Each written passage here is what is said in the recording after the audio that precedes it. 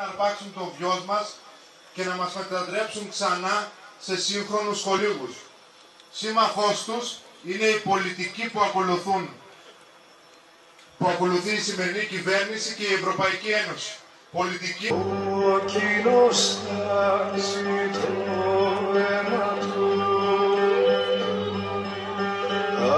ασφαλτός μαύρης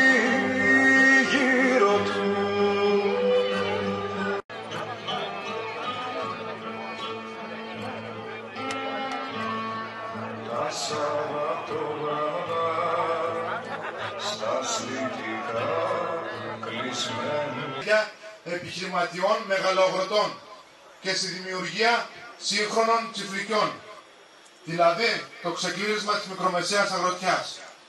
Απέναντι σε αυτή την επί- επίθεση είναι το οργανωμένο αγροτικό κίνημα και οι αγώνες που έδωσε τα προηγούμενα. Αγροτιά! Μια φωνή και μια γροθιά!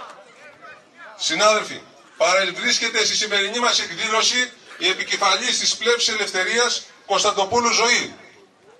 Αγροτικών Συλλόγων Καρδίτσας.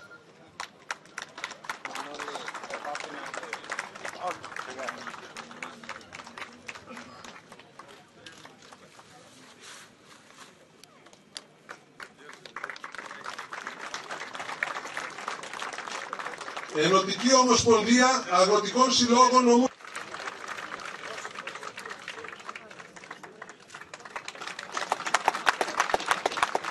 Ένωση Γυναικών Λάρισας Μέλος Όγερ.